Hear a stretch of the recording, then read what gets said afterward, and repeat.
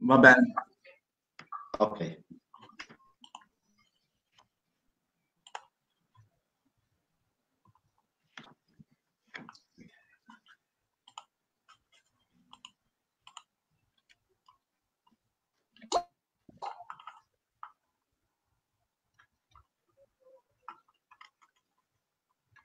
Eccoci.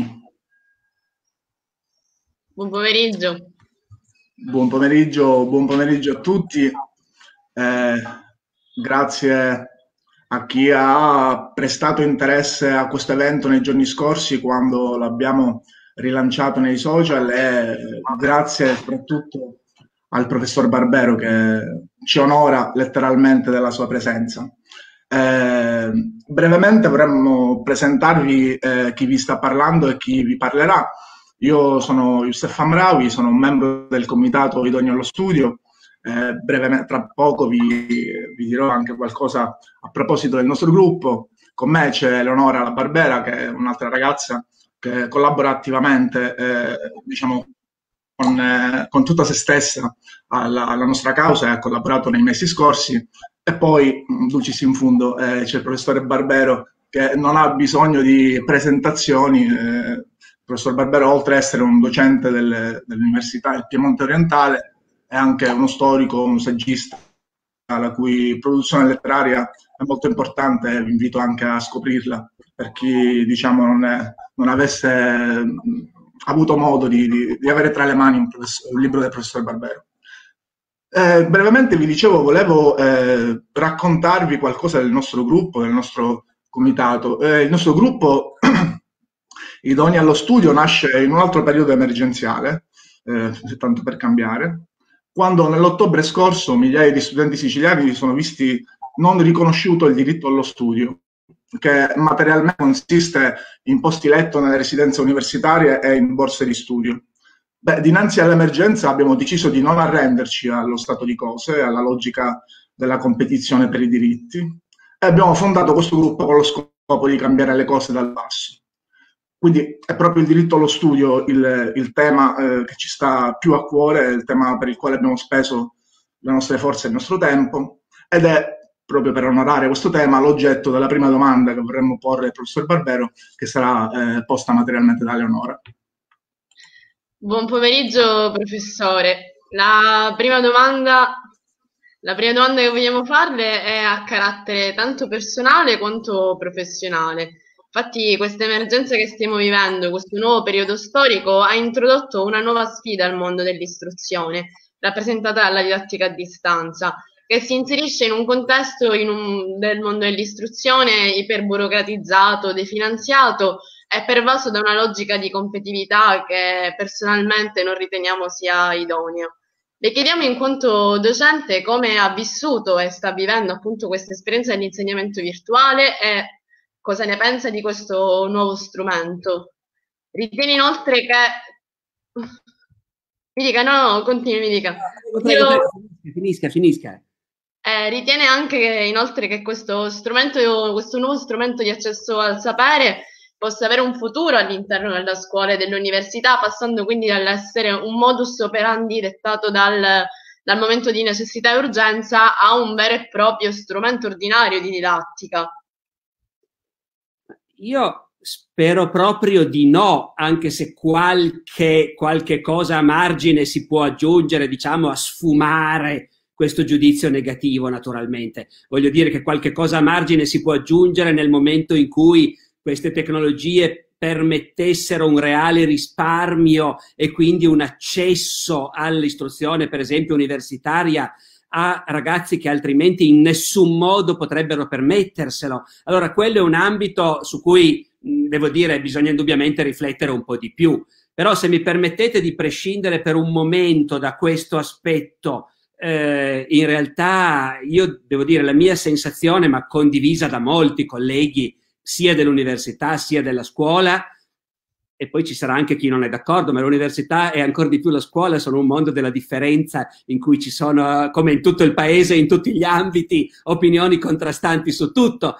Ma io personalmente penso che le forme di didattica a distanza che abbiamo sperimentato in questo periodo siano state, come dire, una benedizione nel momento dell'emergenza, perché hanno comunque permesso di non tagliare i collegamenti, di non far perdere un pezzo di anno eh, a un'infinità di studenti, ma di per sé sono però forme inferiori di, di collegamento e di comunicazione e di insegnamento. Eh, sì. Eh, dica, dica pure quando vuole interloquire. Sicuramente, sicuramente, si perde la logica e il piacere di condividere, di avere un dialogo faccia a faccia con i professori, è tutto totalmente un altro mondo. Inoltre si acuiscono molte diseguaglianze sociali che sfortunatamente all'interno del territorio italiano sono molto presenti.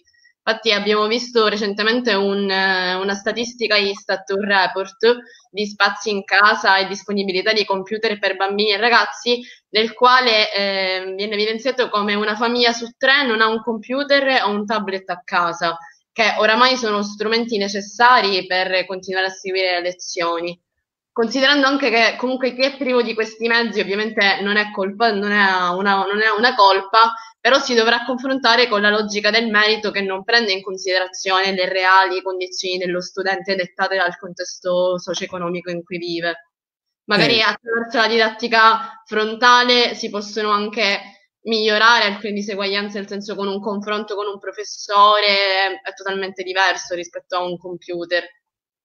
Ed è la stessa cosa per noi il confronto con voi. Eh, certo. Ben inteso, nell'ambito specifico di cui lei ha parlato, uno potrebbe anche rispondere che proprio la presa di coscienza anche a livello di governo e di pubblica amministrazione di queste disuguaglianze potrebbe anche essere l'occasione, e qualche timido segnale c'è stato a parole in quest'ambito, del fatto che insomma nel momento in cui la didattica a distanza diventa strutturale e la dotazione di computer diventa indispensabile per vivere in questo paese, allora magari per carità l'aspetto positivo eh, faccio sempre l'avvocato del diavolo, eh, contro alla mia tesi di fondo, ma l'aspetto positivo potrebbe anche essere un intervento serio dello Stato per dotare tutti i ragazzi dell'accesso alla rete e, del, e dei mezzi necessari. Quindi quello tutto sommato, secondo me, è un aspetto importante, ma non è la cosa che mi sta più a cuore sottolineare. Quello che mi sta più a cuore sottolineare è che mentre qualcuno imma- che sta fuori dal nostro mondo soprattutto si immagina che sia di per sé meraviglioso usare le tecnologie e che quindi si tratti comunque di un passo avanti. Per cui io ho avuto giornalisti che nei primi tempi mi intervistavano dicendo ma professore, ma ci è voluta le, l'emergenza del coronavirus per entrare nel ventunesimo secolo? Ecco, allora a questo bisogna rispondere in modo articolato, che andare a scuola e andare all'università, come diceva lei Eleonora, è un'esperienza di vita collettiva che ha senso nel momento in cui si entra a far parte di una comunità e di una comunità vera, eh, materiale, fisica, un luogo dove ci si trova davvero, perché insomma è grottesco che fino a ieri tutti quanti si lamentavano del fatto che i nostri ragazzi stanno troppo a casa attaccati al computer e che non hanno la vita vera perché eh, ecco, non conoscono solo la vita virtuale. E adesso all'improvviso invece, meraviglioso, dovete stare attaccati al computer. Ecco, allora, no, eh, la scuola e l'università sono dei luoghi, noi esseri umani siamo degli animali fatti per vivere in branco, e per essere a contatto fisico, funzioniamo bene e possiamo essere felici solo così e questo è quindi una prima cosa che va detta. In secondo luogo va detto che la lezione frontale in cui un docente guardando negli occhi una classe. E poi lo so benissimo che i docenti sono spesso stanchi, stressati e poi anche fra i docenti c'è gente mediocre, gente in gamba come in tutti gli ambiti, non tutti i docenti guardano negli occhi la loro classe quando insegnano, lo so che non sempre c'è questo, questa corrente di comunicazione, ma qualunque docente bravo e qualunque studente che abbia avuto un professore appassionato, una professoressa appassionata, sa cosa vuol dire essere lì e sentir parlare una persona che ti insegna e ti fa capire delle cose. Ora, questa modalità non c'è dubbio che viene meno bene, un po' meno bene, almeno un po' meno bene se lo si fa a distanza. Ecco, eh, io lo vedo dal mio punto di vista, di quello che fa la lezione, però ho sentito confermare spesso che anche dal punto di vista di chi la riceve questa cosa c'è. Anche perché devo dire, online ci sono innumerevoli lezioni su tutti gli argomenti del mondo. Ci sono già. E fanno benissimo quei docenti che ogni tanto, usando la LIM, eh, parlo della scuola, eh, mm. usano delle lezioni già esistenti su un argomento, le fanno vedere in classe e poi se ne discute. Questo va benissimo. Ma fare una lezione apposta in questo modo, per quello che la fa, è una cosa fredda e spiacevole. Ecco, eh, tutte le mie lezioni che ci sono online sono tutte cose, tranne rare eccezioni in cui mi sono stato com- mi sono fatto convincere a fare dei podcast. Po- ecco, ma in generale le mie cose che stanno online sono cose che io ho fatto in realtà davanti a 500 persone o a 1000 persone. A quel punto che vengano girate e messe su YouTube a me sta benissimo. Ma farla apposta parlando a una macchina anziché parlare delle persone non è gradevole. L'altra cosa che mi permetto ancora di dire è perché ne ho fatto adesso l'esperienza, io adesso lezioni online per mia fortuna ho dovuto farne pochissime perché all'inizio dell'emergenza stavo già finendo il mio semestre. Quindi ho fatto in tempo a fare le, le ultime, a vedere quanto fosse pesante, eh, però poi diversamente da tantissimi colleghi ho avuto il privilegio di non dovermene più preoccupare. In compenso ho passato la settimana scorsa eh, e quella precedente ecco, eh, a fare esami. E gli esami, che per noi all'università, come sapete, sono un momento cruciale e che sono uno di quei momenti, come dire, in cui il senso della vita eh, batte più velocemente, per cui sono le cose che ci ricordiamo. Tutti ancora 50 anni dopo si ricordano di quell'esame di geografia o di quell'esame di... Ecco, e allora gli esami fatti online sono spiacevolissimi. Per un insieme di motivi, di cui uno è proprio la difficoltà di nuovo di comunicare. Io spe- mi sono proprio reso conto che quando si fa l'esame in presenza, il, lo studente che parla eh, si accorge automaticamente se il docente sta reagendo o no a quello che dice eh, se lo ascolta con attenzione o no, se c'è qualche cosa, eh, certo Maria Antonietta, parlare davanti a un display è glaciale, esattamente. Eh, e invece interrompere uno studente che sta facendo l'esame a distanza, con un ritorno di qualche secondo, oltretutto, un decalage di qualche secondo, diventa faticosissimo, non lo fai, lasci parlare, non correggi. Eh, d'altra parte, l'altro motivo che anche voi avete già adombrato è che tanti studenti fanno quell'esame in casa magari con eh, la sorella nell'altra stanza che sta facendo un'interrogazione a scuola, magari con i genitori nella stanza accanto, un incubo. Eh, ecco, per non parlare di quelli che ho visto andare a mettersi nel sottoscala perché magari era l'unico posto un po' silenzioso dell'alloggio, ecco, o cose del genere. Ecco. Quindi queste cose che sono banali, ma insomma bisogna dirle visto che le abbiamo sperimentate, fanno sì che per concludere tutte queste forme di didattica a distanza siano preziose in tempi di emergenza, ma guai a immaginare che dovessero diventare la normalità. Ecco. Dividiamo proprio, così, sì.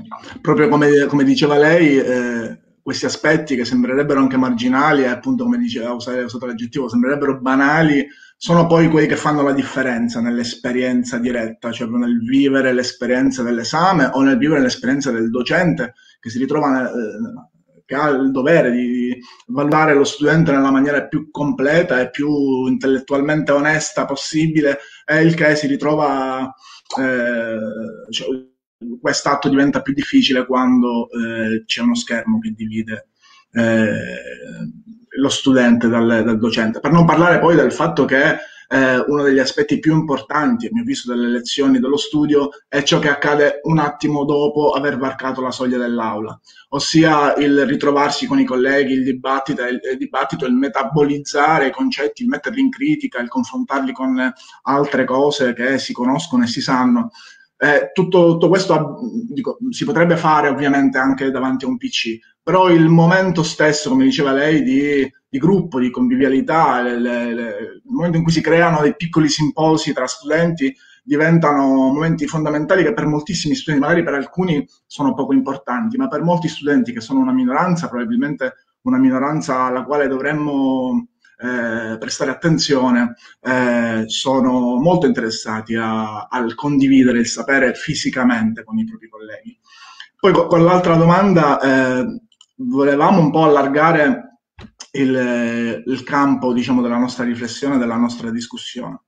Per questo volevamo chiedere, dato che, ed è un dato di fatto, viviamo in tempi interessanti e se non possiamo parlare di, di fine del mondo, senza dubbio viviamo in un'epoca di grande confusione e grande incertezza. La confusione è legata al presente, quando invece l'incertezza è un'incertezza del futuro, che come lei ci ha ricordato in altre occasioni, è una dimensione dalla quale l'uomo fa fatica a liberarsi, quella del domani, quella del futuro. Eh, dicevamo, eh, considerando quindi eh, che in, questo contesto ci ritroviamo anche senza il ruolo giocato nel passato da quei fari che illuminavano i, i, i percorsi come gli ideali o altre, altre, dimensioni simboliche che in qualche modo davano un ordine, no? costruivano una strada eh, dinanzi soprattutto ai giovani che erano alla ricerca diciamo, di qualcosa eh, rispetto al quale investire la propria vita. Eh, dico, considerando quindi l'assenza di fari che illuminano i nostri percorsi, eh, come pensa lei che lo studente o il giovane in generale debba approcciarsi agli eventi del nostro presente? Eh, come motivarsi nello studio nonostante un futuro disincantato, no? per dirla alla Weber? Eh, non sono sicuro di saper rispondere a questa domanda e neanche di voler rispondere a questa domanda, perché credo, credo che un professore di 60 anni sia l'ultima persona che può indicare a un giovane di 20 come deve vivere la sua vita e che cosa deve, come dire, quali traguardi deve porsi. Eh, prendiamolo un po' alla larga. Lei ha implicitamente citato il proverbio cinese, auguro ai miei nemici di vivere in tempi interessanti. Eh, e ha anche un po' adombrato, forse, non so, il presidente Mao quando diceva la, grande il disordine sotto il sole. La situazione è eccellente. Perché il disordine è eccellente quando, quando c'è qualcuno che ha in mente il cambiamento e lo vuole provocare. Eh, noi usciamo oggi qualcuno si lamenta della connessione, ragazzi, abbiate pazienza, io sono qua in campagna.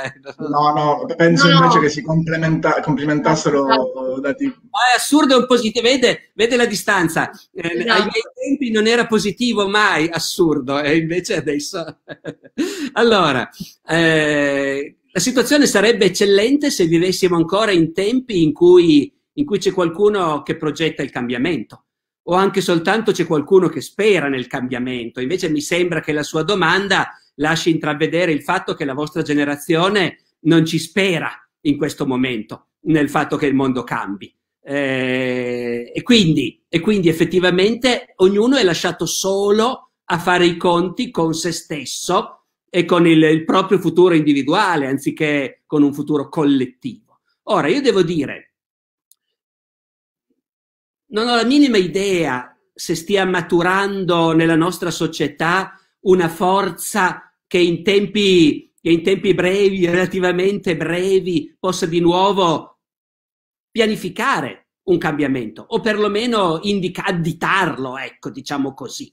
Eh, però certamente, e adesso questa non è una sviolinata nei vostri confronti, anche se potrebbe sembrarlo, ma io continuamente in questi ultimi tempi sono contattato da gruppi, da associazioni di studenti. Non avrei mai immaginato che ci fossero nelle nostre università così tante associazioni di studenti eh, che, fanno, che fanno cultura prima di fare politica e che ovviamente fanno anche politica quindi ma che non sono semplicemente un'emanazione dei partiti o organizzazioni, come sapete meglio di me, appunto, mirate poi ad avere i posti, a vincere le elezioni e avere i posti in consiglio di facoltà, ecco, non è quello. Eh, io, immag- io che insegno all'università non mi immaginavo che la situazione fosse questa, anche se penso che questo dipende anche dal fatto che io sto in una piccola università di provincia e sono soprattutto invece le università delle metropoli che hanno queste, come dire, la possibilità di, di, di permettere agli studenti di mettere in piedi queste esperienze. Allora io non lo so, però quello che è certo è che appunto,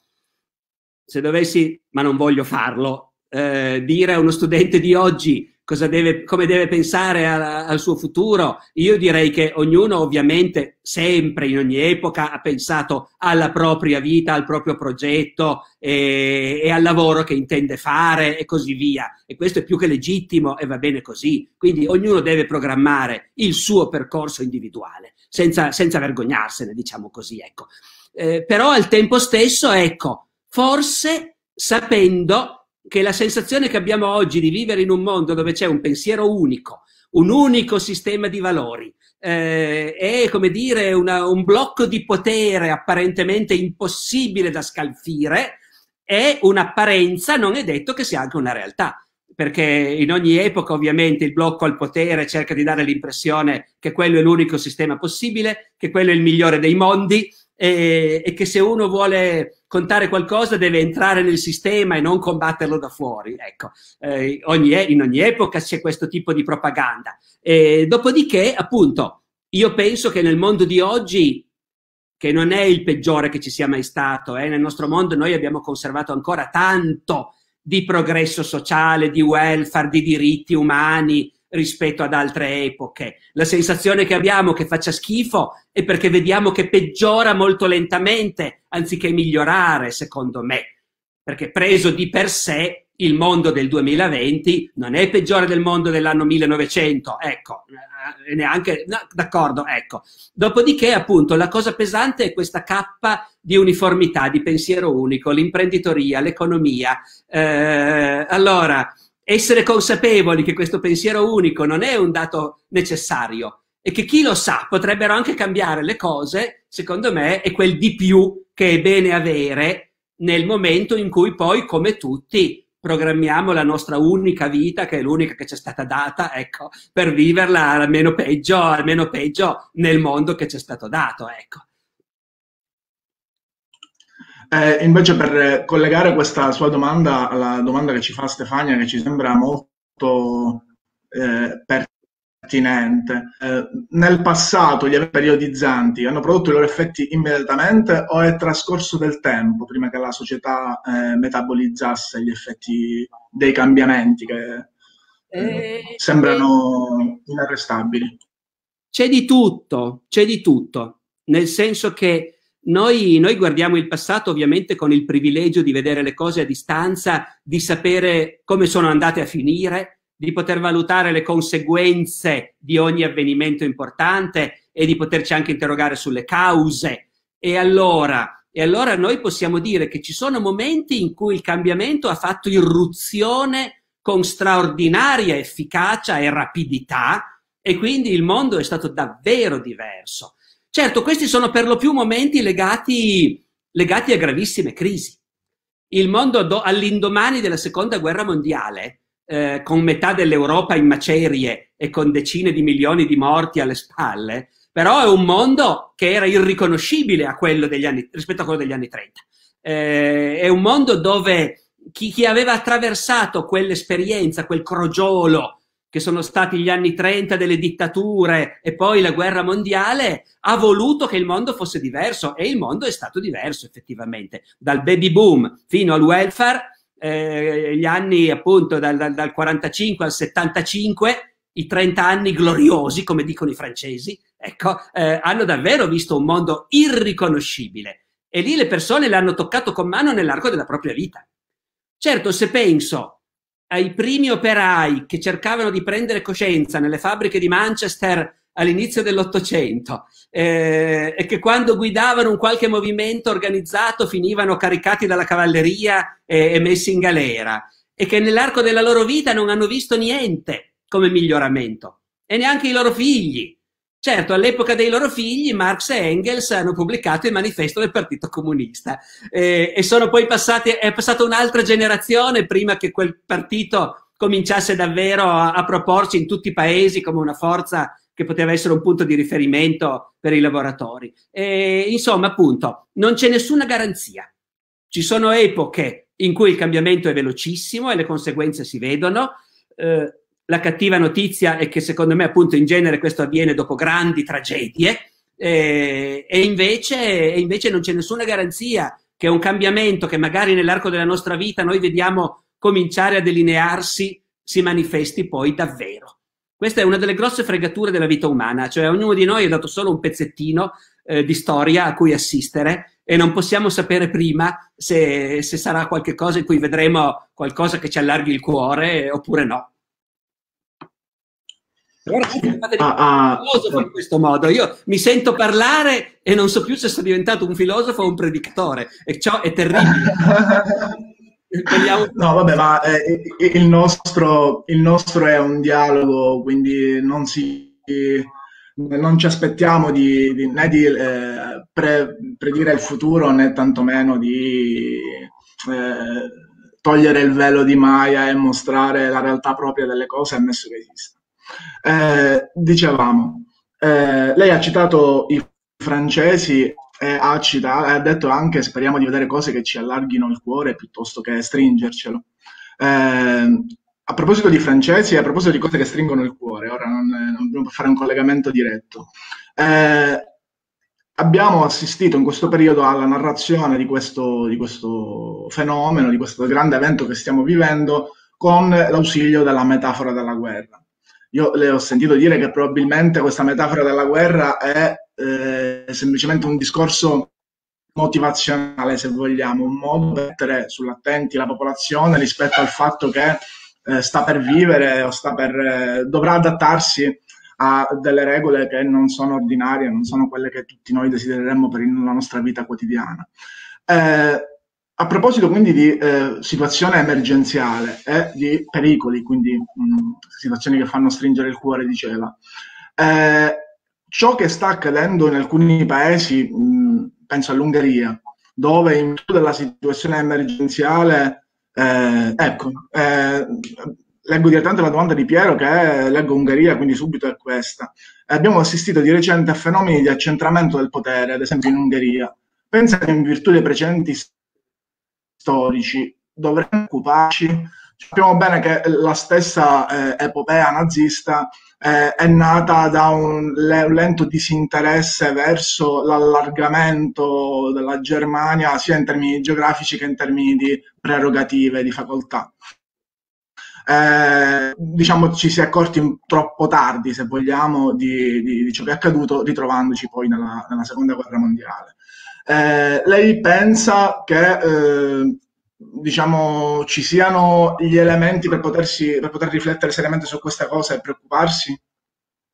Riflettere sì, preoccuparsi secondo me un po' meno, o perlomeno bisogna intenderci sul tipo di preoccupazione che dobbiamo avere.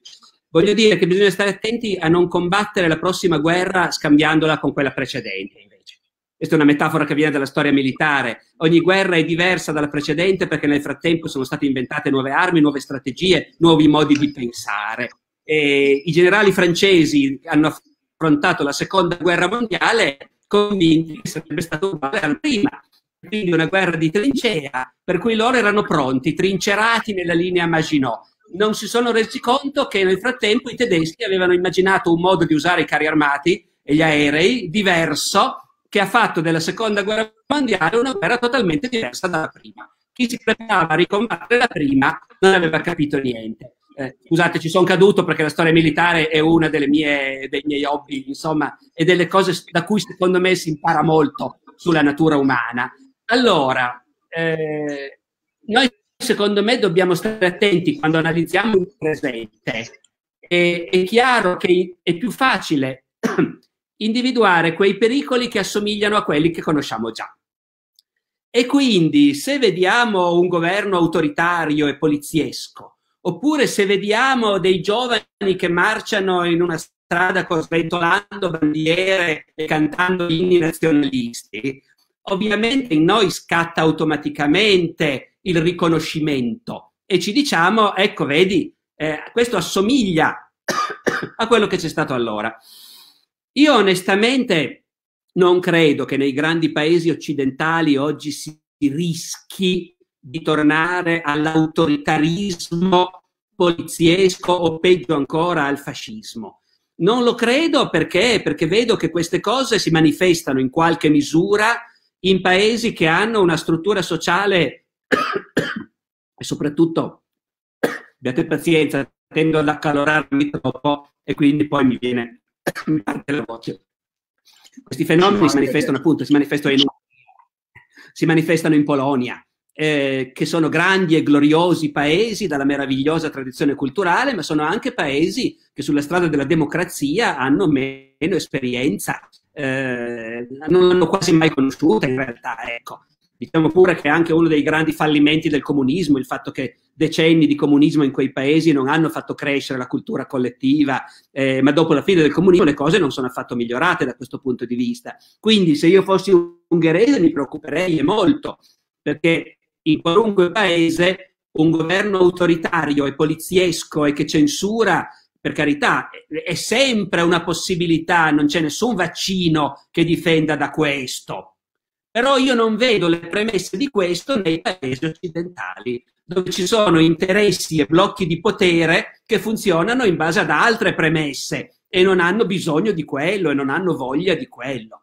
Peraltro, io non conosco bene appunto l'autoritarismo di Orban in Ungheria o quello di Kaczynski in Polonia, ma credo che neanche lì e sicuramente non da noi, nemmeno le destre da noi, nessuno è veramente fascista per quanto riguarda un aspetto che invece era strutturale del fascismo e del nazismo, cioè voler irreggimentare le masse, farle partecipare a forza, mettere tutti quanti in una camicia colorata, farli marciare per strada, fare le adunate oceaniche, eh, spendere molti soldi in armamenti e progettare la conquista dell'Etiopia eh, il fare il sabato fascista per cui il cittadino anziché starsene a casa sua a farsi i fatti suoi viene mobilitato e costretto appunto a mettersi in divisa e marciare con gli altri. A me sembra che questo nell'Occidente di oggi non lo voglia assolutamente nessuno e che nemmeno i leader appunto dei partiti populisti, fra virgolette, espressione orrenda ma pazienza, o di destra vogliano questo. Il fascismo era soprattutto quello e questo io non lo vedo, ma poi mi sbaglierò magari, eh, ma spero per una volta di non sbagliarmi. Non lo vedo quello all'orizzonte. Vedo invece altre forme di indebolimento dall'interno della democrazia che passano però attraverso altri strumenti, altre tecnologie, ecco, diciamo. Chiarissimo. Eh, bene, noi le, ci eravamo promessi di tenerci dentro una mezz'ora, quindi magari le facciamo quest'ultima domanda di Ignazio Grillo. Eh, per, per... ancora. Dai, eh, va bene. Eh, eh, quindi fa- facciamo direttamente la domanda che ci arriva da Ignazio Grillo. Eh, volevamo inoltre chiederle per il prossimo futuro che prospettiva avrà l'Europa? Andrà a sfaldarsi o si costituiranno i tanto anelati Stati Uniti d'Europa? Ora, ovviamente senza eh, volere che lei vesta i panni del profeta. Sì, non solo del profeta, ma in realtà io sto rifiutando interviste giornalistiche. Le rifiuto perché non voglio riperderci tempo, voglio farmi i fatti miei, ma il pretesto con cui le rifiuto è spesso di dire io francamente non sono un opinionista e non lo voglio diventare. Poi tutti noi cittadini qualche riflessione la stiamo facendo. Tutti noi cittadini abbiamo visto che l'Europa ci è stata presentata come un futuro necessario e ci è stata presentata come una nuova autorità a cui bisognava per forza obbedire, perché sarebbe stato bene per tutti farlo. Semplifico un po', ma insomma la grande narrazione dell'Europa era quella. Eh, di fronte a questa crisi, che è la più grande, al di là della strisciante crisi economica che ci portiamo dietro dal, dal 2008, e che è probabilmente assai più grave in termini storici, però in termini di avvenimenti, come dire, con una data precisa, questa crisi della pandemia è probabilmente il più grave avvenimento storico che si sia verificato, se non nell'arco della mia vita, sicuramente della vostra. E, e in questa occasione l'Europa si è rivelata totalmente inesistente. Zero. Completamente inutile e insignificante. Ogni Stato si è regolato esclusivamente da solo, in concorrenza l'uno con l'altro. Allora, effettivamente l'Europa è chiaro che va ripensata, perché l'Europa è una costruzione eh, da un certo, per chi ci crede, di una debolezza spaventosa.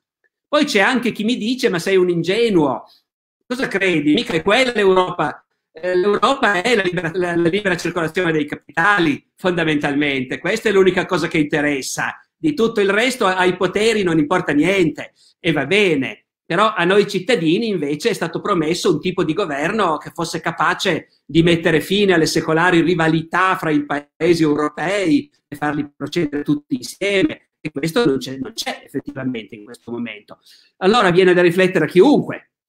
Viene da riflettere sul fatto che Stati Uniti d'Europa è un meraviglioso slogan coniato, come dire, a imitazione degli Stati Uniti d'America. Eh, peccato che i 50 Stati Uniti d'America parlano tutti la stessa lingua, per esempio.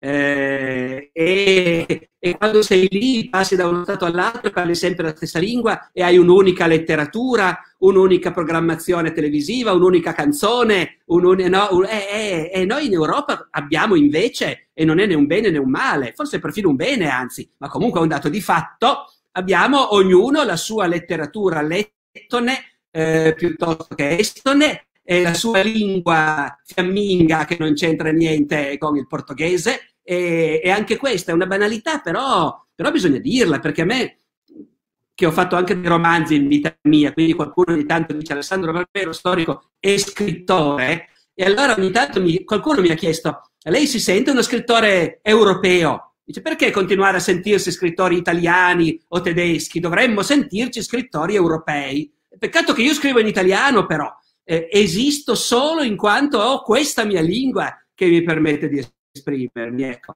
Allora, eh, queste sono di nuovo assolute banalità, ma quando si chiacchiera fra amici prendendo il caffè eh, si ha diritto di dire anche delle banalità, per l'appunto. Eh, queste sono banalità, ma con le quali bisogna fare i conti. Il progetto dell'Europa non, è, non mi è ben chiaro in questo momento eh, dove, dove voglia tendere. Ecco.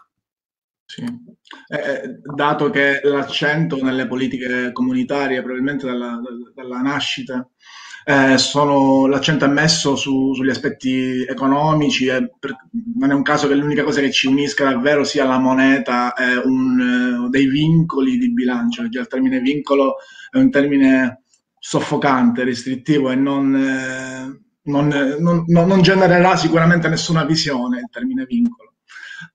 e quindi manca probabilmente una tabella di valori europea sulla quale eh, probabilmente costruire questo senso di cittadinanza europea, eh, probabilmente anche tenendo quella che potrebbe essere una ricchezza che è la diversità linguistica, non necessariamente è, è, è un ostacolo.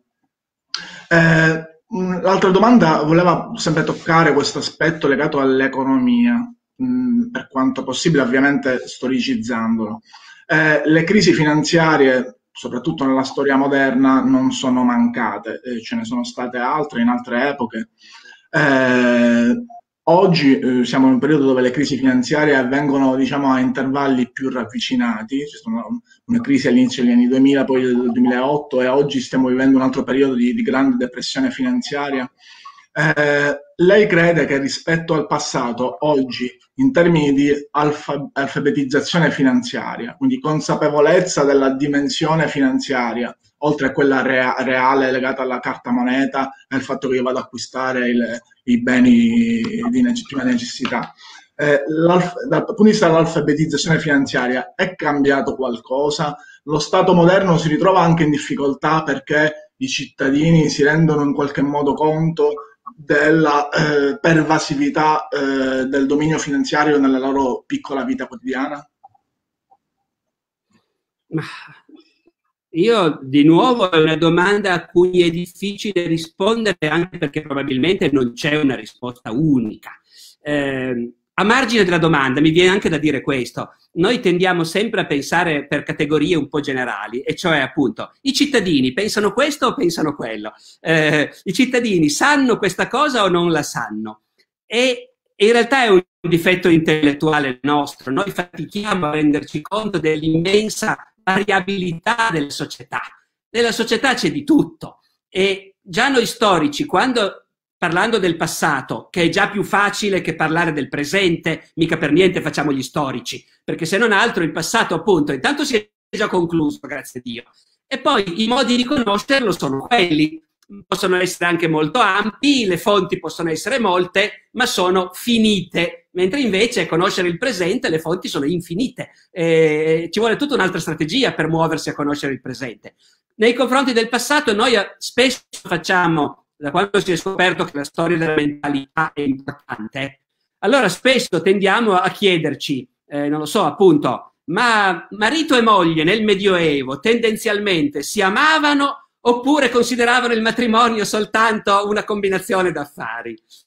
E in realtà la risposta è alcuni sì, altri no. Bisogna vedere, dipende. La variabilità delle condizioni umane è infinita. Poi a quel punto rimane interessante capire quali sono i comportamenti comunemente considerati giusti, quali sono i comportamenti che riscuotono approvazione sociale e quali comportamenti invece sono più rari o vengono stigmatizzati. Allora, a me sembra che nel presente di oggi, in teoria, forse si dice ogni cittadino dovrebbe conoscere come funziona la finanza, cosa fanno le banche dei suoi soldi, ma in realtà si sa benissimo che nessuno ne sa niente, tranne chi davvero se ne interessa. Però a me sembra che, per usare un'espressione che non si usa più tanto, l'uomo della strada, si diceva una volta, eh, mi sembra che l'uomo della strada nove volte su dieci non ha la minima idea di questi meccanismi.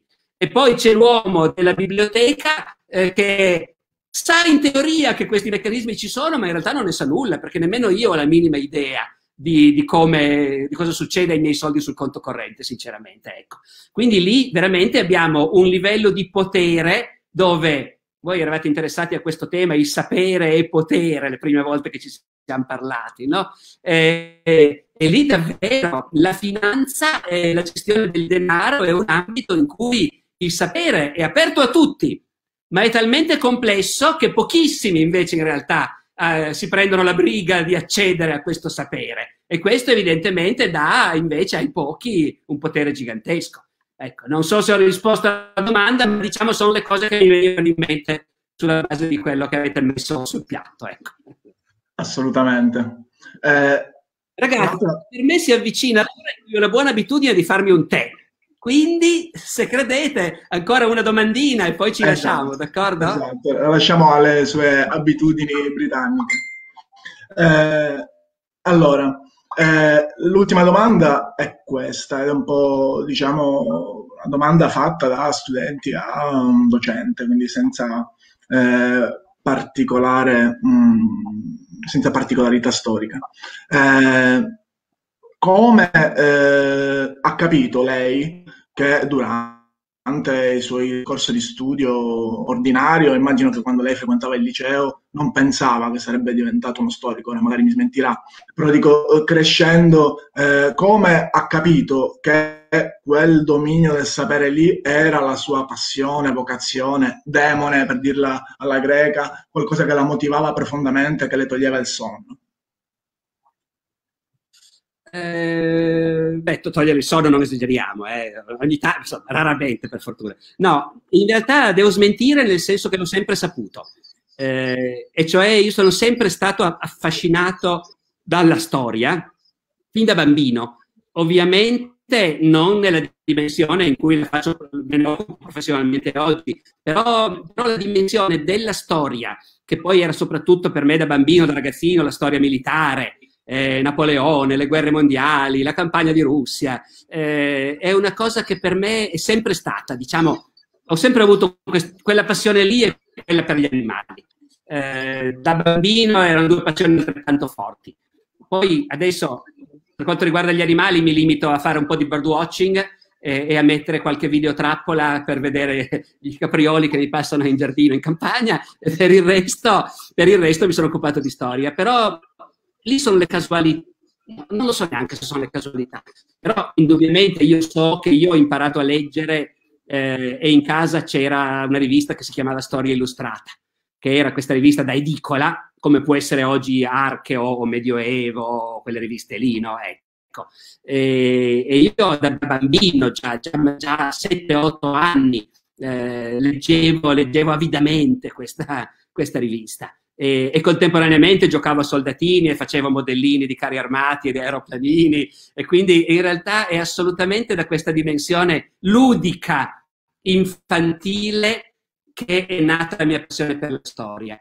Del tutto imprevista invece è stata poi la, la svolta verso il Medioevo, perché in effetti da bambino questo non, non, c'era per me, non era una cosa che mi affascinasse, non c'erano i carri armatini nel Medioevo e quindi non, non, non non non, non mi interessava.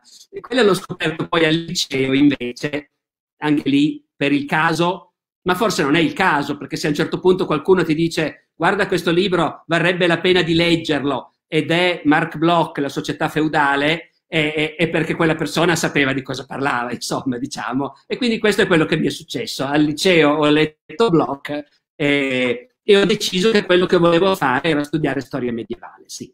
Quindi la storia è questa, insomma. Non vi sento. Non hai il microfono, Youssef. Sì, sto ascoltando.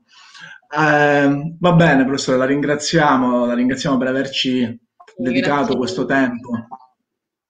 Eh, ci auguriamo di Grazie. poterla invitare presto fisicamente, mh? Mm, eh, senza il distanziamento fisico, no? che si chiama distanziamento fisico e non sociale, eh, poterla incontrare qui a Palermo e avere un momento assieme tradizionale. Ecco. Al di là, rinunciamo temporaneamente a queste tecnologie. Esattamente. Teniamocelo come un impegno. Grazie. Grazie. Arrivederci. Arrivederci. Arrivederci. Arrivederci. Buona serata.